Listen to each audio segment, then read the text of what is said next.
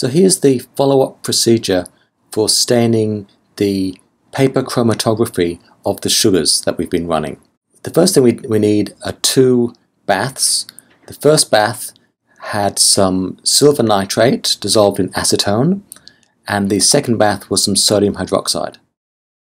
Here we have a paper that's just been run so that the sugars have been drawn up through the paper through the capillary action of that solvent mix and we're just drying off the solvents so that we can stain the sugars. At this part, uh, at this point in time, it looks like a, a, plain blank piece of paper.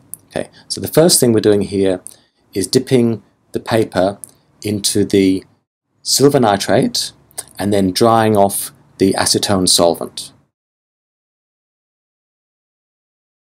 Once the paper's dry, it's then dipped into the sodium hydroxide for visualization.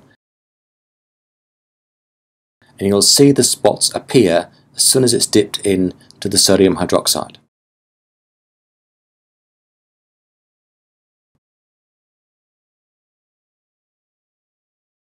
There you go.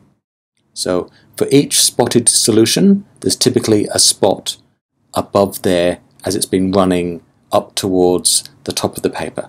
So just need to dry off the solvent again and then we can um, start to analyze the data. So once the spots have developed and the paper has been dried, you can then do the analysis of the spots. From the point where you loaded the sample to the center of the spot is one measurement, and from the point where you loaded to the solvent front is the second measurement. And then you simply divide the distance the spot has moved by the distance the solvent front has moved. And that will give you a fraction between 1 and 0. 1 meaning it's at the solvent front, 0 meaning it's on the spot where it was loaded. Typically you'll have a, a fractional value. And that's it.